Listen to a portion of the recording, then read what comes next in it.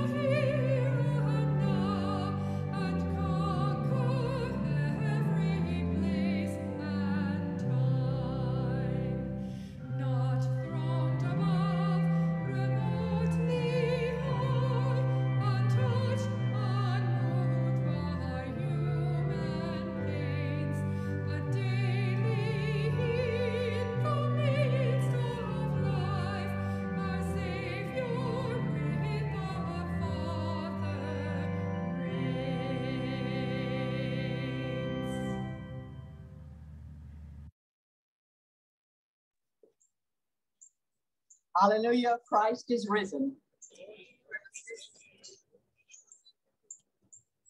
Almighty God, to you all hearts are open, all desires known, and from you no secrets are hid. Cleanse the thoughts of our hearts by the inspiration of your Holy Spirit, that we may perfectly love you and worthily magnify your holy name through Christ our Lord. Let us say together the Pascha Nostrum. Alleluia. Christ our Passover has been sacrificed for us. Therefore, let us keep the feast, not with the old leaven, the leaven of malice and evil, but with the unleavened bread of sincerity and truth. Alleluia. Christ being raised from the dead will never die again. Death no longer has dominion over him. The death that he died, he died to sin once for all. But the life he lives, he lives to God so also consider yourselves dead to sin and alive to God in Jesus Christ our Lord. Hallelujah. Christ has been raised from the dead, the first fruits of those who have fallen asleep. For since by a man came death, by a man has come also the resurrection of the dead. For as in Adam all die, so in Christ shall all be made alive. Hallelujah. The Lord be with you. Let us pray. O God, whose blessed Son made himself known to his disciples in the breaking of bread, open the eyes of our faith, that we may behold him in all his redeeming work, who lives and reigns with you in the unity of the Holy Spirit, one God, now and forever. Amen. Please be seated.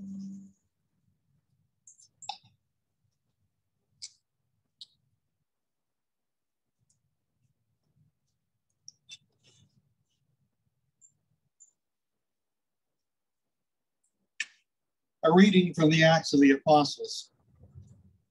When Peter saw the man who had been lame from birth walking, he addressed the people You Israelites, why do you wonder at this? Or why do you stare at us as though by our own power or piety we made him walk? The God of Abram, the God of Isaac, the God of Jacob, the God of our ancestors has glorified his servant Jesus, whom you handed over and rejected in the presence of Pilate though he had decided to release him. But you rejected the holy and righteous one and, and asked to have a murderer given to you, and you killed the author of life, whom God raised from the dead. To this we are witnesses. And by faith in his name, his name itself has made this man strong, whom you see and know, and the faith that is through Jesus has given him this perfect health in the presence of all of you. And now, friends, I know that you acted in ignorance, as did also your rulers. In this way, God fulfilled what he had foretold through all the prophets, that his Messiah would suffer. Repent, therefore, and turn to God so that your sins may be wiped out. The word of the Lord. Thanks be to God. The responsorial reading appointed for today is Psalm 4. We will pray this responsibly by whole verse. Answer me when I call, O God, defender of my cause. You set me free when I am hard pressed. Have mercy on me and hear my prayer. You mortals, how long will you dishonor my glory? How long will you worship dumb idols and run after false gods? Know that the Lord does wonders for the faithful. When I call upon the Lord, he will hear me. Tremble then and do not sin. Speak to your heart in silence upon your bed offer the appointed sacrifices and put your trust in the Lord. Many are saying, Oh, that we might see better times. Lift up the light of your countenance upon us, O Lord. You have put gladness in my heart more than when grain and wine and oil increase. I lie down in peace. At once I fall asleep. For only you, Lord, make me dwell in safety a reading from the first epistle of John. So, see what love the Father has given us that we should be called children of God, and that is what we are. The reason the world does not know us is that it did not know Him. Beloved, we are God's children now. What we will be has not yet been revealed. What we do know is this when He is revealed, we will be like him, for we will see him as he is. And all who have this hope in him purify themselves just as he is pure. Everyone who commits sin is guilty of lawlessness. Sin is lawlessness. Know that he was revealed to take away sins, and in him there is no sin. No one who abides in him sins. No one who sins has either seen him or known him. Little children, let no one deceive you. Everyone who does what is right is righteous, just as he is righteous. The word of the Lord. Thanks be to God.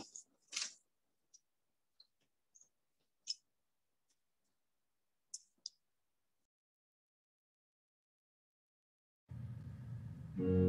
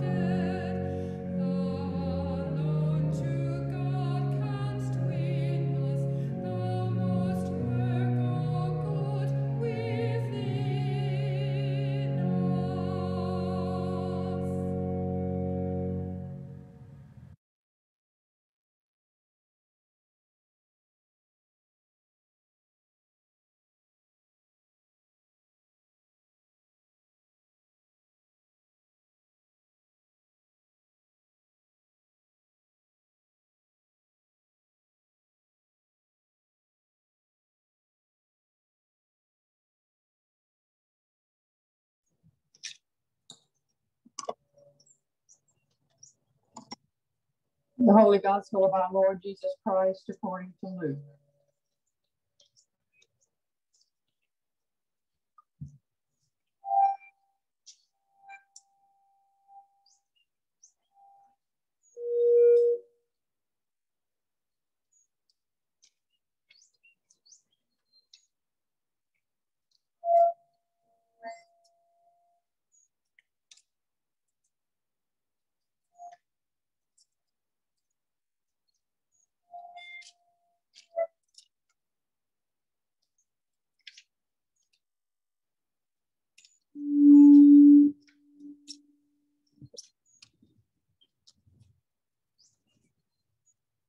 Jesus stood among the disciples and said to them, Peace be with you.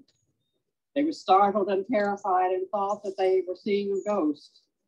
He said to them, Why are you frightened? And why do you do doubts arise in your hearts? Look at my hands and my feet. See that it is I myself. Touch me and see, for a ghost does not have flesh and bones, as you see that I have. And when he had said this, he showed them his hands and his feet. While in their joy they were disbelieving and still wondering, he said to them, Have you anything here to eat? They gave him a piece of broiled fish, and he took it and ate in their presence. Then he said to them, These are my words that I spoke to you while I was still with you, that everything written about me in the law of Moses, the prophets, and the Psalms must be fulfilled. Then he opened their minds to understand the scriptures, and he said to them, Thus it is written that the Messiah is to suffer and to rise from the dead on the third day, and that repentance and forgiveness of sins is to be proclaimed in his name to all nations, beginning from Jerusalem. You are witnesses of these things. The gospel of the Lord.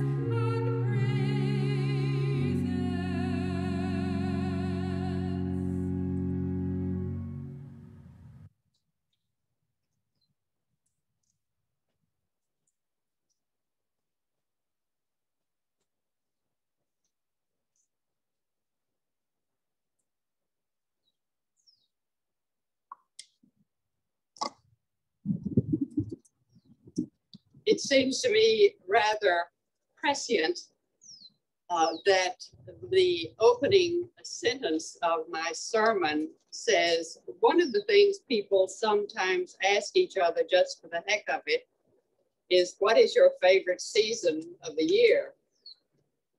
It depends on whether or not you know what season it is. I'm not sure why. I guess it's just one of those conversation starters that come in handy when all else fails. My own answer, if asked, depends on the time of year the question gets asked. Along about the middle of August, as I dread leaving my own personal igloo to take my dog Freddie for a walk along the sizzling sidewalks, my favorite season is the fall with its crisper air, its shorter days, and its football games. Anything that breaks the iron grip of relentless sun and melting asphalt is high on my list of seasons. But nature, whose frigid blow on Ash Wednesday left us humbled by our own vulnerability, has repented her frozen ways and once more has blessed us with spring. Tiny shoots of new life have made their way through the once frozen earth, and tender new leaves have woven their verdant canopies over the gnarled branches below. The birds are tweeting their heads off with joy, and baby turtles tag along behind their mothers to explore the neighborhood pond's ecosystem. And the IRS is giving us an extra month to file our taxes. So what's not to love about spring? It takes me back to another spring long, long ago. I was sitting out on the new deck the men's group had built at the rectory in LaGrange, where I lived, enjoying a little post Holy Week, post Easter respite. I'd done all the fertilizing and repotting of plants I was of mind to do. I'd sat down and polished off the book I was reading and was polishing off a glass of Texas Red as well. The hummingbirds were swarming around the feeders, presenting for my entertainment the wonderful contrast between their beautiful plumage and graceful flight and their aggressive territorialism and atrocious manners. I sat with a dog in my lap as the day settled into its gentle end, and lightning bugs replaced the hummingbirds with their flickering calls to one another. Here I am, follow me. All was peaceful, all was serene. Life was good. And then from somewhere in my psyche, from that mortal core that taints even our most joyful moments, the thought arose unbidden. Someday I won't be here.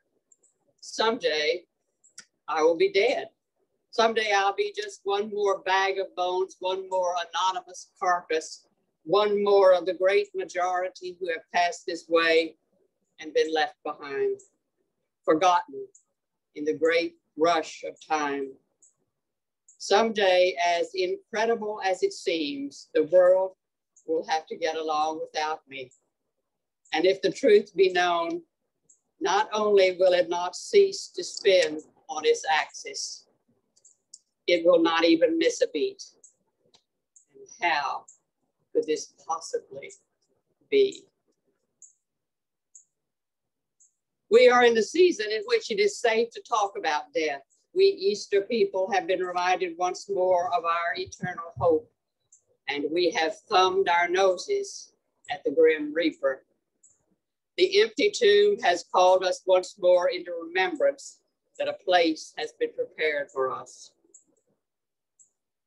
Historians would probably agree that Christianity's tipping point, the thing that gave it the kickstart that propelled it from a small Jewish sect into a worldwide religion was the emperor, Roman Emperor Constantine's dream on the eve of battle.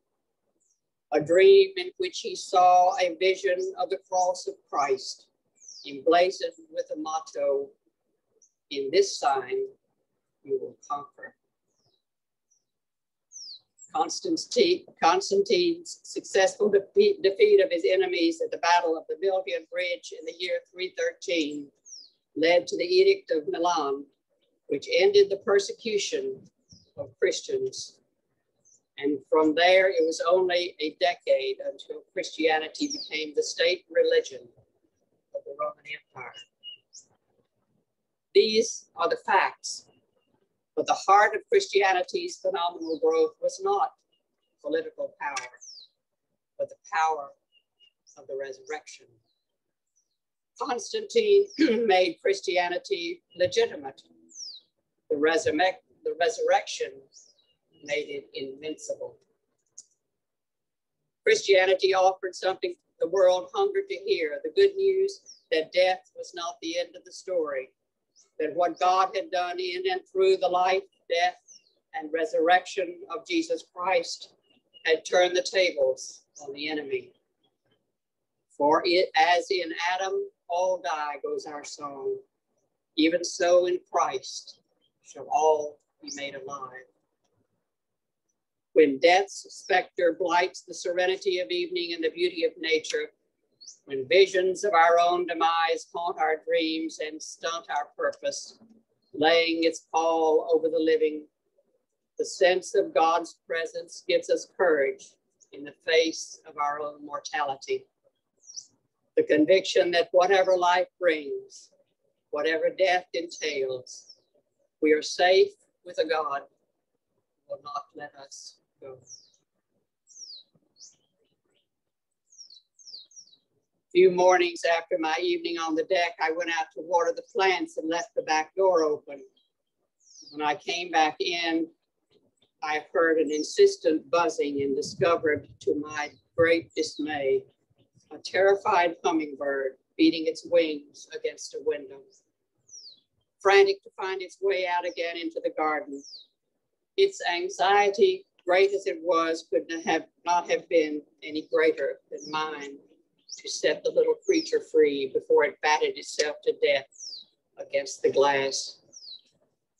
Fortunately, luck was with me.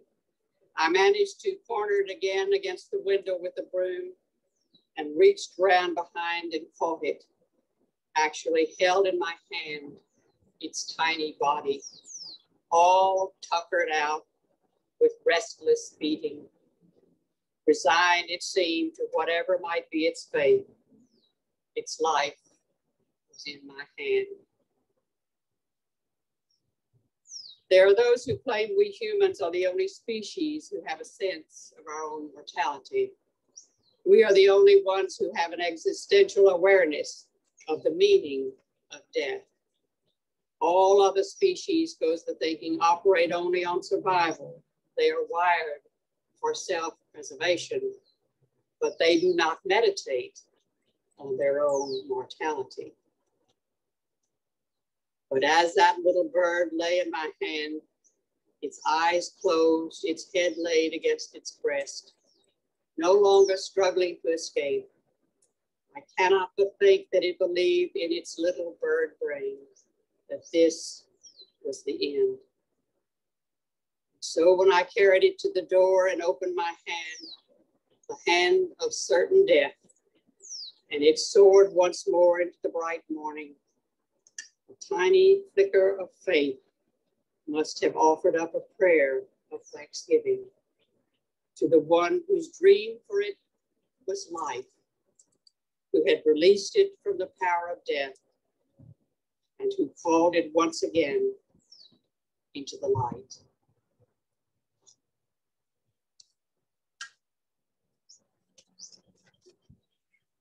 Let us stand and affirm the faith of the church in the words of the Nicene Creed.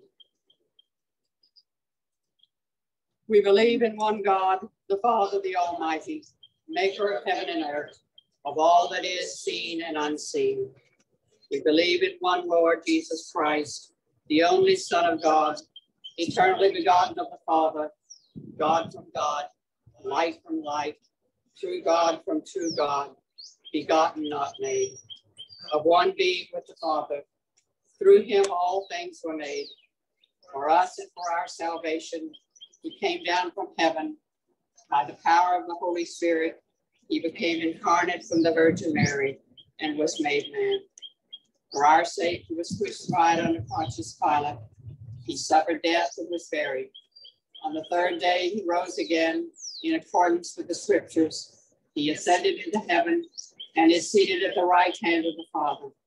He will come again in glory to judge the living and the dead, and his kingdom will have no end.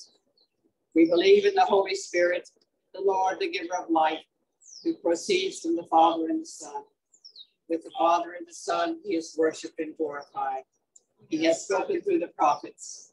We believe in one holy Catholic and Apostolic Church. We acknowledge one baptism for the forgiveness of sins we look for the resurrection of the dead and the life of the world to come.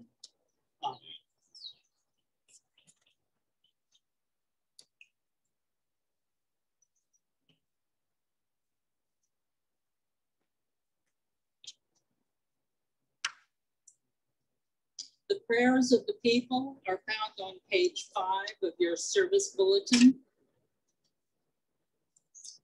Let us pray for the church and for the world. Grant, Almighty God, that all who confess your name may be united in your truth, live together in your love, and reveal your glory in the world. Lord, in your mercy, hear our prayer. Guide the people of this land and of all the nations in the ways of justice and peace, that we may honor one another and serve the common good. Lord, in your mercy, hear our prayer. Give us all a reverence for the earth as your own creation, that we may use its resources rightly in the service of others and to your honor and glory. Lord, in your mercy, hear our prayer. Bless all those whose lives are closely linked with ours, and grant that we may serve Christ in them and love one another as he loves us. Lord, in your mercy, hear our prayer. Comfort and heal all those who suffer in body, mind, or spirit. Give them courage and hope in their troubles and bring them the joy of your salvation. Lord, in your mercy, hear our prayer. We commend to your mercy all who have died, that your will for them may be fulfilled. And we pray that we may share with all your saints in your eternal kingdom. Lord, in your mercy, hear our prayer. Lord Jesus Christ, you said to your apostles, Peace I give to you, my own peace I leave with you. Regard not our sins, but the faith of your church. And give to us the peace and unity of that heavenly city, where with the Father and the Holy Spirit you live and reign now and forever. Amen. Let us confess our sins against God and our neighbor.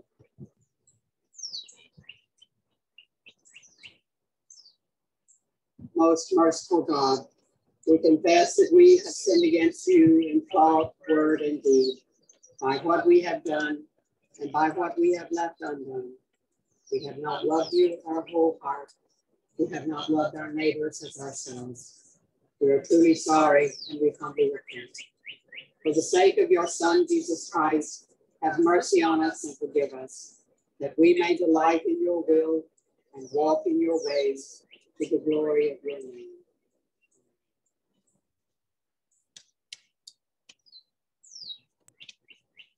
Almighty God, have mercy on you. Forgive you all your sins through our Lord Jesus Christ. Strengthen you in all goodness, and by the power of the Holy Spirit, keep you in eternal life. The peace of the Lord be always with you.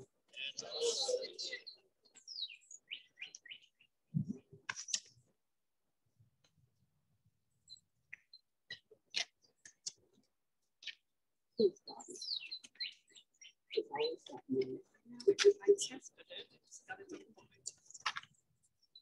Are there any birthdays or uh, wedding anniversaries or baptismal anniversaries to be celebrated this morning? Please come forward. No takers? All right. Walk in love as Christ loved us and gave himself for us, an offering and sacrifice to God.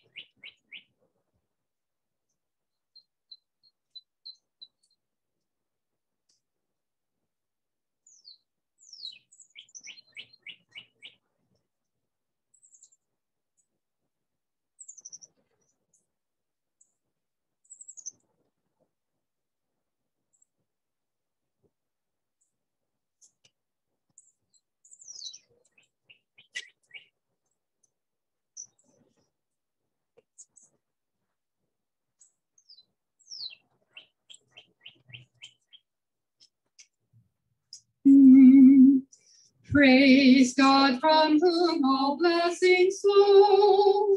Praise him, all creatures you below. Oh, praise him, hallelujah. Praise him above ye heavenly hosts. Praise Father, Son, and Holy Ghost. Oh, praise him, oh, praise him. Hallelujah, hallelujah, hallelujah.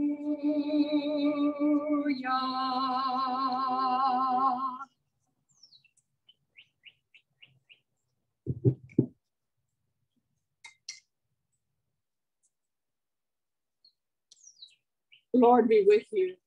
Also with you. Lift up your hearts. Lift up to the Lord. Let us give thanks to the Lord our God. It is right to give him thanks and praise. It is right and a good and joyful thing, always and everywhere to give thanks to you, Father Almighty, creator of heaven and earth. But chiefly are we bound to praise you for the glorious resurrection of your Son, Jesus Christ our Lord. For he is the true paschal lamb who was sacrificed for us and has taken away the sins of the world. By his death, he has destroyed death. And by his rising to life again, he has won for us everlasting life. Therefore, we praise you, joining our voices with angels and archangels and with all the company of heaven, to forever sing this hymn to proclaim the glory of your name. Holy, holy, holy Lord, God of power and might, heaven and earth are full of your glory. Hosanna in the highest. Blessed is he who comes in the name of the Lord. Hosanna in the highest. Holy and gracious Father, in your infinite love, you made us for yourself. And when we had fallen into sin and become subject to evil and death, you in your mercy sent Jesus Christ, your only and eternal Son, to share our human nature, to live and die as one of us, to reconcile us to you, the God and Father of all. He stretched out his arms upon the cross and offered himself in obedience to your will, a perfect sacrifice for the whole world. On the night he was handed over to suffering and death, our Lord Jesus Christ took bread, and when he had given thanks to you, he broke it and gave it to his disciples and said, Take, eat. This is my body, which is given for you. Do this for the remembrance of me.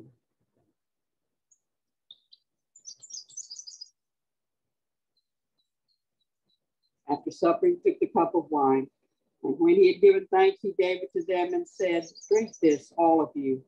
This is my blood of the new covenant, which is shed for you and for many for the forgiveness of sins.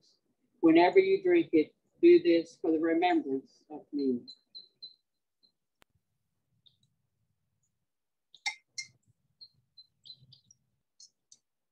Therefore, we proclaim the mystery of faith. Christ has died, Christ is risen, Christ will come again. We celebrate the memorial of our redemption, O Father, in this sacrifice of praise and thanksgiving.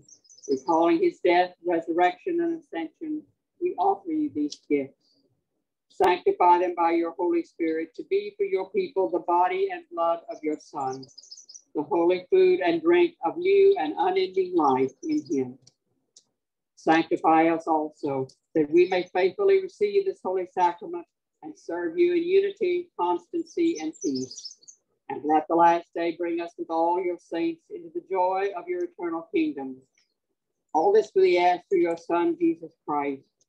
By him and with him and in him in the unity of the Holy Spirit, all honor and glory is yours, Almighty Father, now and forever. Amen.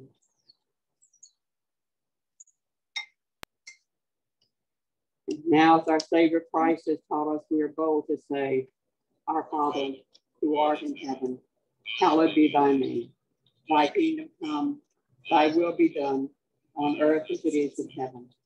Give us this day our daily bread, and forgive us our trespasses, as we forgive those who trespass against us. And lead us not into temptation, but deliver us from evil. For thine is the kingdom, and the power, and the glory forever and ever. Amen.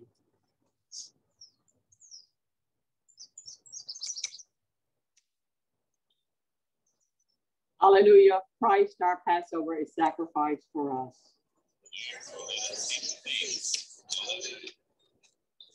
The gifts of God for the people of God. Take them in remembrance that Christ died for you and feed on Him in your hearts by faith with thanksgiving.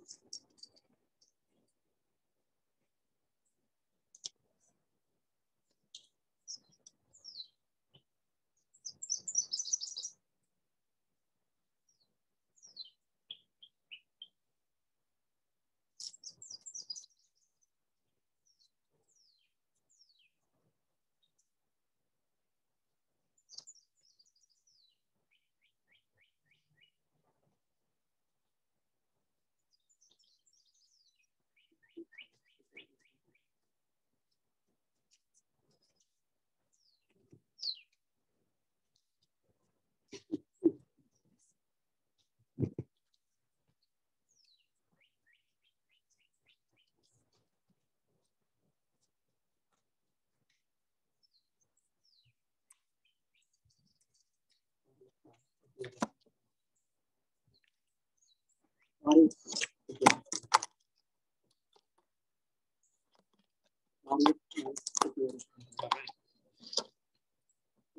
Christ, the bread of The body applies the bread of The body applies the bread of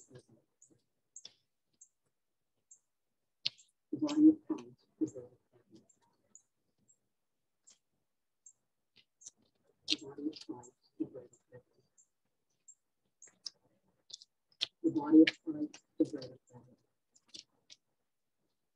The body of Christ, the bread of heaven.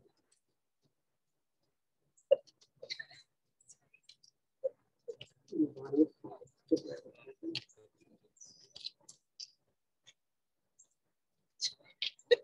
The body of Christ,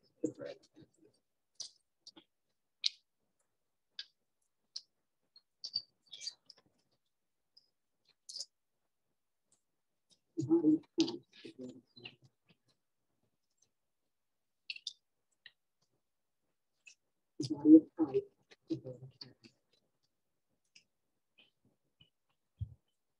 body of Christ. The body of Christ.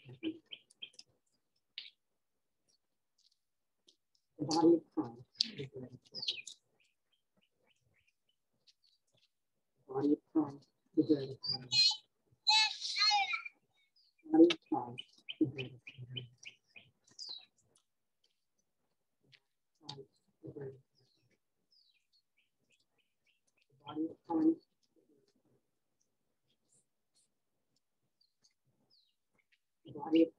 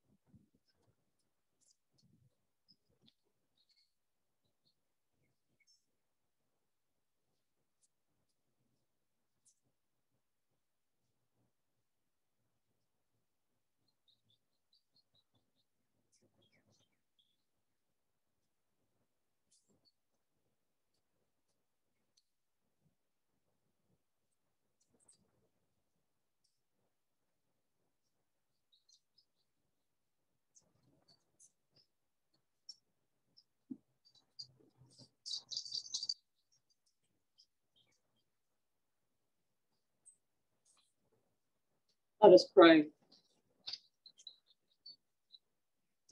Almighty and ever living God, we thank you for feeding us with the spiritual food of the most precious body and blood of your Son, our Savior Jesus Christ, and for assuring us in these holy mysteries that we are living members of the body of your Son and heirs of your eternal kingdom.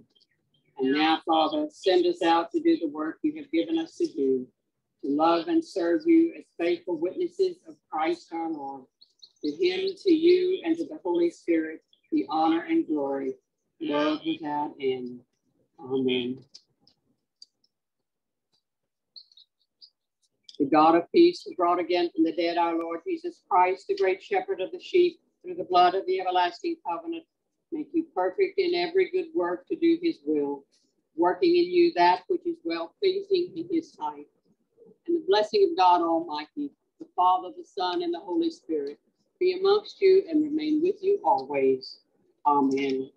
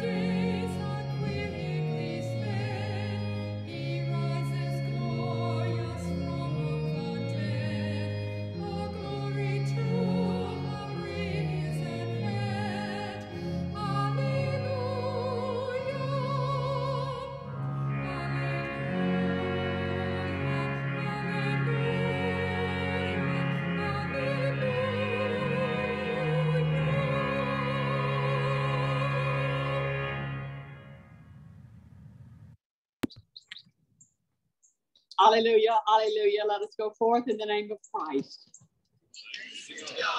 Hallelujah.